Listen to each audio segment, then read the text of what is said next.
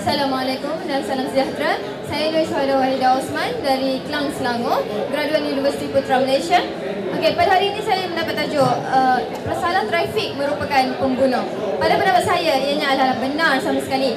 Ini kerana, okey, kita uh, baiklah, uh, kita akan pergi satu persatu di mana kesalahan yang dibuat uh, yang telah dilakukan oleh pesalah-pesalah trafik. Yang pertama, pesalah trafik uh, melanggar melanggar lampu melanggar lampu merah seperti uh, apabila dia melanggar lampu dan uh, uh, dan apabila dia melanggar lampu uh, itu akan membahayakan orang lain di mana apabila pejalan kaki berjalan di hadapan mereka dan mereka tidak sempat menghentikan kenderaan dan ini membahayakan diri mereka dan juga uh, pejalan kaki tersebut.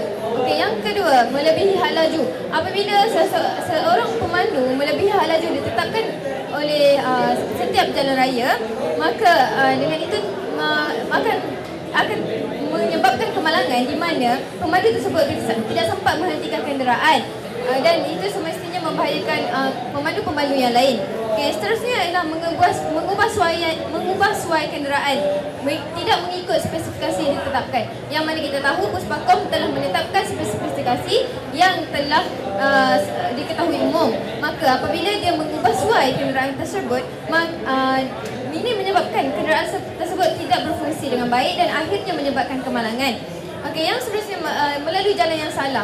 Apabila seseorang pemandu tidak menepat tidak me, me, menepati iaitu tidak mengikut papan tanda yang telah ditetapkan, papan tanda yang telah disediakan, maka terjadinya uh, kemalangan.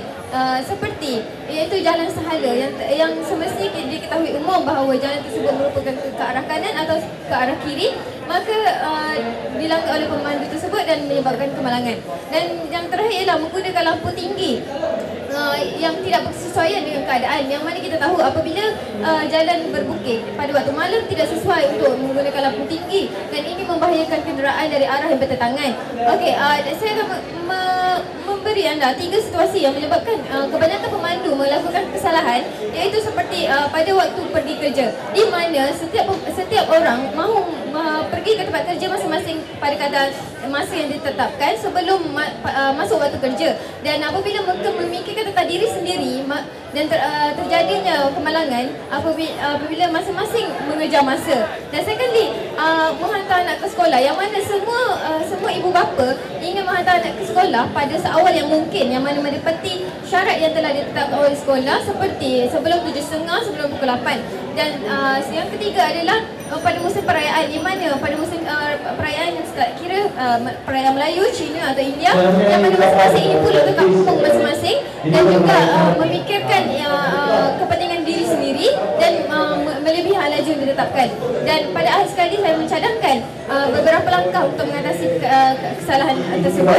Uh, kita seharusnya bersama-sama dengan kerajaan membuat kempen yang mana uh, bekerjasama juga dengan badan swasta untuk memastikan kemalangan jalan raya dapat di uh, dapat di diatasi. Dan juga kita mesti bersedia lebih awal sebelum ke sesuatu tempat atau menyelesaikan sesuatu pekerjaan. Apabila kita bersedia awal kita pasti akan dapat uh, sampai ke tempat yang ditetapkan pada masa yang uh, pada masa yang diingini dan uh, semua ini telah telah dibuktikan dengan statistik yang mana kita telah mengetahui kebanyakan daripada kemalangan yang berlaku adalah di sekitar Lembah Kelang dan semestinya kita hendaklah melalui jalan yang uh, jalan jalan alternatif yang telah disediakan oleh kerajaan untuk mengelakkan kesesakan jalan lintas.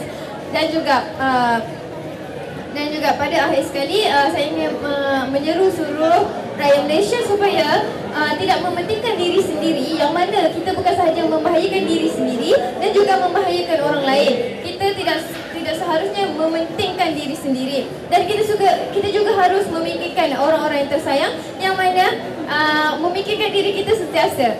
Okey uh, dan saya uh, secara jujurnya me menyokong uh, pesalah pesalah trafik merupakan pembunuh dan uh, oleh itu saya uh, mengakhiri ucapan saya dengan uh, utamakan keselamatan jalan raya.